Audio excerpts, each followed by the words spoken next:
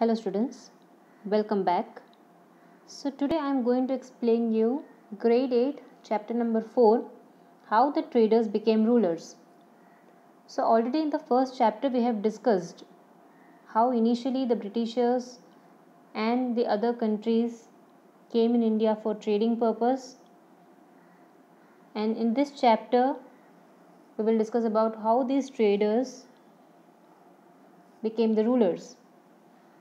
Let's get into the chapter. The children were engrossed in reading the story of two cats and monkey during the recess. On reading this story, Jay and Mitali were making fun of each other.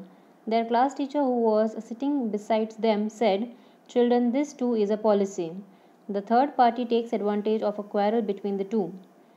The British had expanded their empire in India with such a policy. Jay asked, Sir, how is that possible? The class teacher replied, Let us go to the class, and there I will explain about how the British came to India and established their rule over the Indians. So, here basically, two uh, children are engrossed in reading a story about two cats and, and a monkey. It was a recess time, and while reading the story, uh, both the students, Jay and Mitali, were making fun of each other. And you know, uh, their teacher was sitting there besides them okay and then they were discussing about this policy then they were you know teasing each other at that time their teacher explained them that how the third party takes advantage of a quarrel between the two means जब दो जन की लड़ाई होती है तब तीसरा किस तरह से उसका एडवांटेज लेता है so in our case also how these traders became the rulers the britishers also expanded their empire in india with such such policy Jai asked तो जय वापस पूछता है sir how is that possible so the teacher is telling that let's go to the class and I will explain how this Britishers came into India and establish their rule over the Indians तो किस तरह से आए और उनका rule किस तरह से हुआ ये सब उनके टीचर ने उनको एक्सप्लेन किया। By the mid of the 18th century, the British had started to emerge as a strong power on the Indian political horizon. means by the end of 18th century means when 18th century was half of it was over the british was already you know it was emerging as a political power uska political horizon हमारे India में काफ़ी ज़्यादा strong होता जा रहा था do you know that the British came to India only for trade yes we know that right initially they came for trading purpose initially they took permission to trade in indian states so when they entered in india it was for trading purpose and they took permission also from many of the Indian states. Then how did they become the rulers of entire India? So one of the question arises that if their purpose was of trading then how they started ruling over there in India? The history of the British rule arises many such questions. So our history has many such questions you know we will discuss in, in this chapter. To serve their economic interest they increased their political hold on India with the use of British diplomatic tactics. So, what was the reason? Their economic interest. Okay, okay, economically they want to earn more and more profit out of trading. So, initially they came for trading purpose और जब उनको लगा कि अब economically you know they can become they can become rich और they can earn more profit they started there diplomatic tactics or we can say they expanded their political control in India. Let's move further.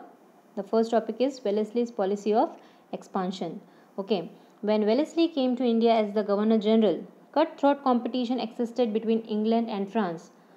जब Wellesley as a governor general appoint हुए थे India में there was a very cut throat competition a tough competition between England and France means who will earn more profit and this was discussed in the first chapter also if you have recalled it it was necessary to check France from becoming powerful in India so as to expand the British rule in India. Wellesley introduced a new plan which was known as the subsidiary alliance and it was very necessary like you know british का एक control India में करना बहुत ज़रूरी था ताकि France आगे ना निकल जाए फ्रांस का powerful you know they they don't become powerful और ब्रिटिश पावरफुल में आ जाए इसके लिए उन्होंने एक नया प्लान इंट्रोड्यूस किया था and that was the subsidiary alliance policy As per the scheme, any princely state that accepted the alliance had to keep and maintain the British army as well as keep a British representative in the royal court. So, according to this policy, what was the policy is all about? So, this policy was according to this policy, any of the princely state, any of the state, big or small state, if accepting this alliance or if accepting this policy, they have to keep and maintain the British army. Means all the expenses of the British army will be, uh, you know, will be uh, recovered by that st- uh, state itself or that yes state itself. Okay. Uh, so they the british army don't have to spend any money ठीक है? पूरा का पूरा वो state के ऊपर उनका expenses आ जाएगा। और दूसरा चीज़ ये कि एक ब्रिटिश रिप्रेजेंटेटिव भी उनके रॉयल कोर्ट में, उनके पैलेस में रहेगा। This way the British could maintain their army without spending any money तो इस तरह से ब्रिटिशर्स ने एक तरह से अपना दिमाग लगाया एंड दे यू नो एक तरफ़ से उनका आर्मी भी मेंटेन हो जाए और उनको पैसा भी, उनको कुछ किसी तरह का स्पेंड भी ना करना पड़े। So this was that you know diplomatic tactic we can say इस तरह से उन्होंने अपना माइंड गेम खेला था। How are the princely states way are not allowed to utilise the army at their own will this system which made many feel secure in the beginning made them feel enslaved and threatened see this system was when it was introduced many of the states princely state और the Kings of that princely states feel secured उनको एक security feel हुआ था क्योंकि उनको लगा था कि ब्रिटिश आर्मी का सपोर्ट मिलेगा तो उनका जो स्टेट है उनका जो राज्य है वो एकदम सेफ रहेगा सो so, स्टार्टिंग में जो उनको बहुत ही सिक्योरिटी फील वाला जो आया था बट धीरे धीरे उनको पता चला ये एक्चुअली उनको एनस्लेव करने के लिए और उनको थ्रेटन उनको डराने के लिए धमकाने के लिए और उनको एक तरफ़ से उनके नीचे ब्रिटिशर्स के नीचे दबा के रखने के लिए ये पॉलिसी बनाया गया है। So subsidiary alliance acted like a slow poison for the princely state of India okay so which was the slow poison subsidiary alliance acted like a slow poison धीरे धीरे धीरे धीरे।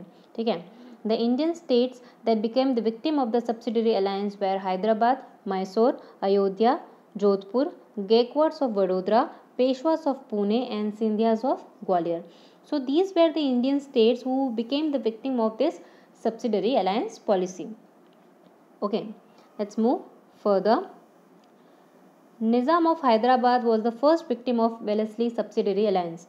So, which was the first princely state became the victim of Wellesley's subsidiary alliance policy so answer of this is Nizam of Hyderabad this उस time पे हैदराबाद में कौन rule कर रहा था? Nizam then it was Mysore and Ayodhya after Hyderabad it was Mysore and Ayodhya Tanjore and Karnataka met with the same fate means after Mysore and Ayodhya Tanjore and Karnataka became the victim so basically initially they all these states became the victim of subsidiary alliance policy of Wellesley.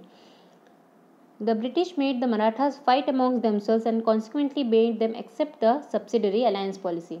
अब जो अपनी इच्छा से accept कर रहे हैं वो तो ठीक है जो एक्सेप्ट नहीं करना चाहते the Britishers made the others the against who whomsoever they were standing they made fight with them means marathas were not accepting this so what britishers did they had a fight with marathas and after that they forcefully made them accepted the subsidiary alliance policy owing to the losses incurred by nizam in his fight with marathas he was the first to accept this alliance and when the nizam of hyderabad you know witnessed that how the Marathas fought with Britishers and after the fight it was a great loss for the Marathas. So finally without any fight they accepted this alliance.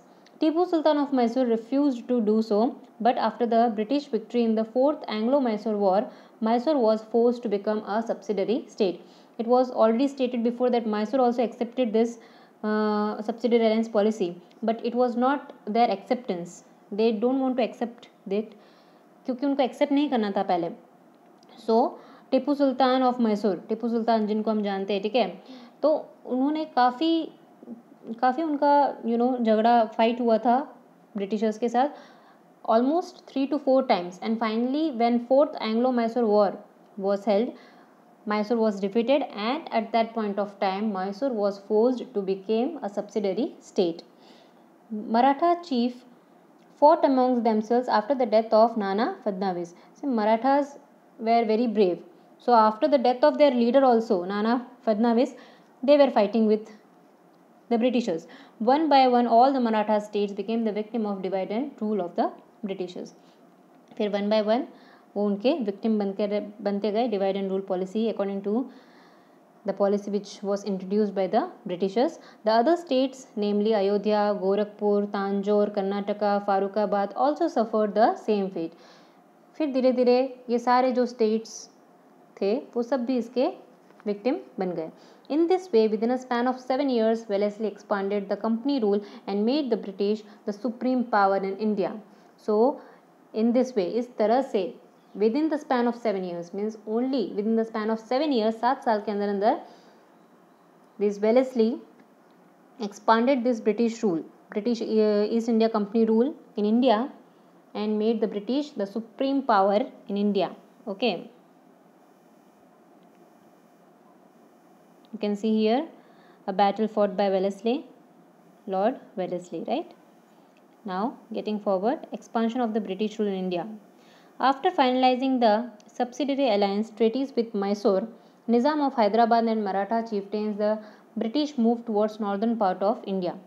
After uh, signing the treaty or signing the agreement, treaties means agreement. After signing the agreement with Mysore, Hyderabad, Marathas, then the Britishers moved to the northern part of India फिर उन्होंने सोचा, अब northern part के ऊपर भी India के northern side के ऊपर भी अपना हक जमाना चाहिए, अपना पावर एस्टेब्लिश करना चाहिए। They enter in to a treaty of friendship with Nepal sensing a threat from it so that time Nepal was one of the we can say strongest state so what they did they had a friendship treaty with them they fought many battles to secure the frontiers friendly relation with the Sikh king Maharaja Ranjit Singh helped them to win the battle with the Afghans and establish their rule in Sindh. And they had a very friendly relations with the Sikh kingdom, the king Maharaja Ranjit Singh. They had a very good relations with them, and because of that, they had a fight with had a battle with Afghans. And with the help of Maharaja Ranjit Singh, they defeated Af- Afghans, and this is how Sindh also came under their rule. The British had an ambition to capture the Sikh kingdom. See, the Britishers, it, was not the reason. See, उनका कोई friendship नहीं था महाराजा रंजीत सिंह से ठीक है? उनका ambition क्या था? सिख किंगडम को भी अपना अंदर करना. But at that time Maharaja Ranjit Singh जो थे वो बहुत ही पावरफुल लीडर थे. तो जब तक वो ज़िंदा है तब तक उनके साथ फाइट करके सिख किंगडम को अपने अंदर करना what was impossible for the Britishers so initially they had a good relations और a friendly relations with them ठीक है? Then which was very powerful kingdom but they could not do so as long as Maharaja Ranjit Singh was alive जब तक वो ज़िंदा थे, तब तक वो उसको अपने अंदर कर नहीं सकते थे। So they kept friendly relations with Maharaja Ranjit Singh so उनका रिलेशन काफ़ी अच्छा था महाराजा रंजीत सिंह के साथ। Ranjit Singh was a strong ruler of the time he had set up a strong army with the help of European officers for the protection of his state he had attained victories over many nearby states. See, Maharaja Ranjit Singh had attained very victorious, you know, uh, among all the nearby states of Sikh kingdom. After his death, Punjab suffered anarchy. After the death of Maharaja Ranjit Singh, Punjab suffered anarchy. Anarchy means anath. Okay. Governor General Sir Henry Hardinge came to India and brought the Sikh rule completely under the British rule with the policy of interference and annexation. After that, the other Governor General, Sir Henry Hardinge, was appointed as the Governor General of India, and after that, he brought the Sikh rule completely under the British rule. Means after when uh, finally when Maharaja Ranjit Singh was dead, or जब Punjab एकदम you know anarchy, हो गया था एकदम अकेला हो गया था देर the Sikh kingdom also came under the British rule. With which policy? Interference and annexation policy. Okay. Okay, so today this is the first part of chapter number 4. I will be back soon with the second part of this chapter. I hope you understood this much. Thank you.